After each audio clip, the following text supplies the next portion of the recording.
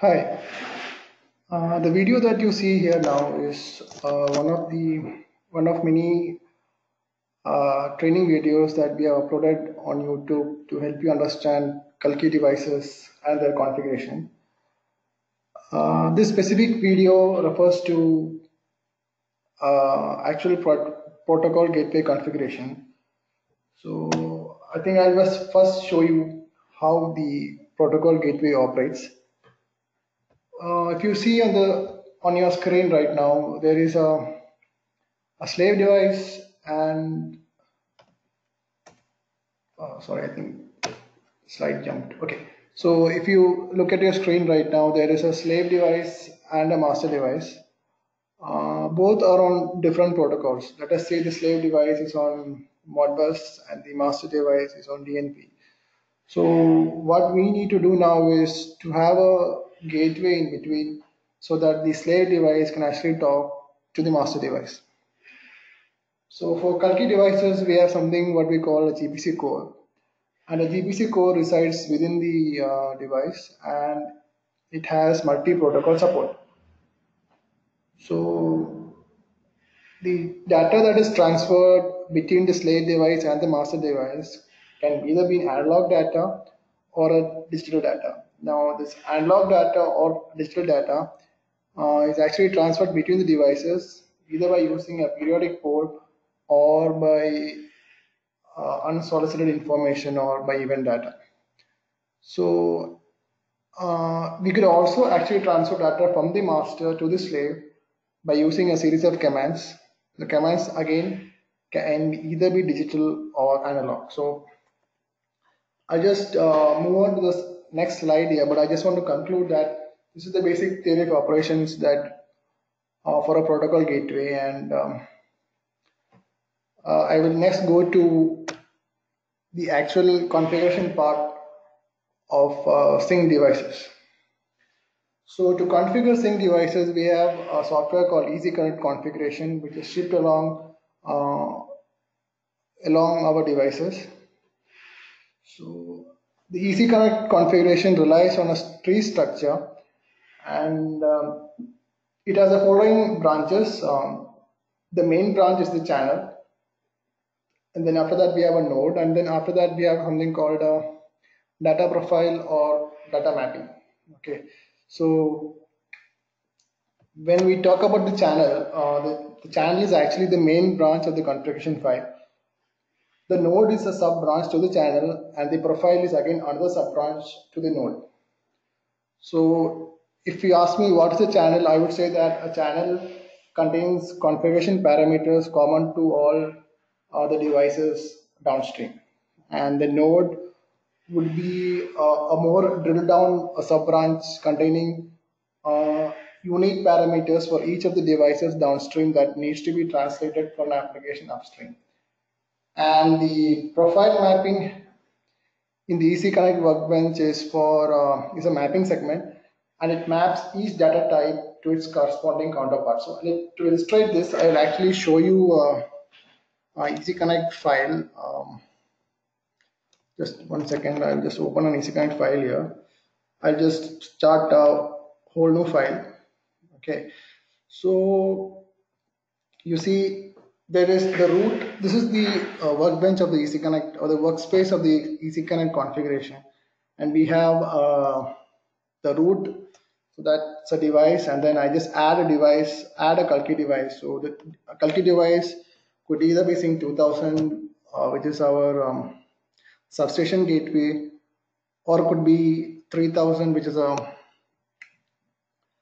uh, which is positioned as a control center gateway or um, we could sorry uh, we could either have a sync 3000 which is a more higher end device um, capable of actually accommodating more number of devices or it could be even sync 4000 which is a control center front end uh, so but right now I'd be using sync 2000 to show you how natural configuration takes place. So I just add uh, sync 2000 here and uh, by the way, sync 2006 serial ports and one Ethernet port. So to explain uh, what a channel is, I just I'll add a channel here. I go to protocol configuration, I add a channel, or let's say I add um, uh, Modbus. So I put Modbus here, and then you have a Modbus RTU master. So if you see uh, some of the configurable configurable fields in the channel are um, the port can be the channel type, it could be 485 or 232, the baud rate. So I could change the baud rate from 9600 to 90,200. So my point is that this the channel contains configurable parameters that are, that are actually common to uh, the whole set of devices. And if I want to drill down and configure um, uh, more uniquely, then I go to add a station and I call it node. And then if you see, I could add, and I can actually add more than one node to each channel. So, so I add, let's say I add three nodes. So I can actually give so let us supposing I have three devices downstream. So I, I am capable of uh, the device is capable of assigning uh, different master addresses so that it would poll to each of them uniquely. So I have, so there I've added uh, three devices. so by adding three nodes and then uh, after that, I'll just uh, go on to add a profile. Uh, so just before that, I'll just take up the slide. Maybe we can, I can just show you what I'm trying to do. I will see if I, uh, this is the mapping. Uh, just want to show you how to map the device. So yeah, so so what I'll try to illustrate is uh, using the configuration is to make a configuration file that can map a Modbus slave device to a DNP3 device. So for that, I need to make a Modbus master and I need to make a DNP3 slave. So I just go back. So this is what I'm trying to do. And so what I'm trying to do is I map a Modbus device address one, which I've already done with baud rate 9800, which I've done. And I'm also adding parity and um, the stop bit. So to this, uh, I will also be adding rows in the uh, profile sub branch so that I could pull data which is uh, digital data and an, and an analog data. And once I map that, uh, my plan is to map it to, sorry, once I configure that, my plan is to map it to uh, DNP3 data sets. So I would, in this case, be taking uh, digital data, which is object 1 and variation 0, and analog data, which is object 30 and variation 0. Okay, so let me just show you how it is done. I will just um, uh, See, I've already, I've, okay, I've just add a row here and um, single indications, read coil status. So if you see the slide, uh, we are trying to add address 1 and count 4. So I'll just add address 1, number of points 4. Okay, so that is done here and I just save this file okay i add another row. Okay and if you see if you let us open the slide again. So we add uh, analog data okay with uh, let us say unsigned holding register. So yeah so i just add analog input data and I add holding register and data format unsigned. So start address one number of points is four so i put four here. Now my intention is as you can see in the slide is to uh, map it so that a DNP3 slave, sorry, a DNP3 master application can actually read the data that is in the Modbus device. So what I do is I go to protocol configuration again, can add, add a channel.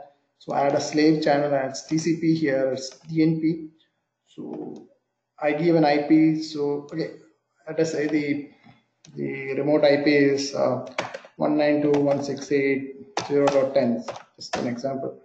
So, so, and after that, I go to station.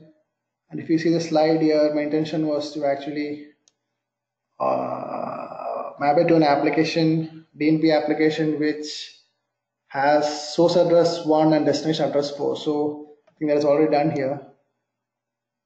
Sorry, so address, yeah, so uh, just make it address 4 and address 4. Okay. Now that's that part is done and now I will proceed to actually do the mapping. So I just take this, I, I go back to profile, select the slave that I want. So in this case, I want to map it to a DNP slave. I go to the digital input row and then I add a map. That map is binary input starting address 1, number of points 4. Okay, so yeah that's about it so if I save it here so this would give me uh, a DNP digital data with object 1 and variation 0 so I'll just proceed to go to the analog input part of it and then I add a map. And then I go to analog inputs. If you see automatically comes out as analog inputs. Then you give a starting address as uh, let's see what did the slide say? Okay the slide not say anything. Okay we'll just give a address as 4 uh, let us say starting address as 4 and number of points uh, again 4 because the number of points is 4 okay, let us put a starting address as 5 okay. And then uh, again event class is 0 and then you save it here. So this actually gives you so what I've done is I've mapped a series of data points, digital data and analog data from a Modbus slave device, and I'm translating it to a DNP data objects, uh, which I'm mapping it to a digital data object and an analog data object. So, so we are done here, and I let us say I just actually download this. Okay, I need to save this. Just save it to a desktop. I'll just say okay say test one I save it I say configuration file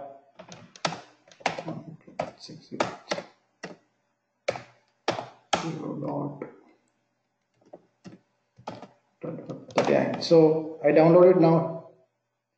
Yeah the download is successful. So what we have done here is we have configured a gateway that is actually capable of allowing two devices to talk to each other. And uh, I think we have come to the end of this session. I think the remaining videos will actually the remaining videos in this series will actually help you uh, in um, testing the device. So I think I leave it here. Thank you have a nice day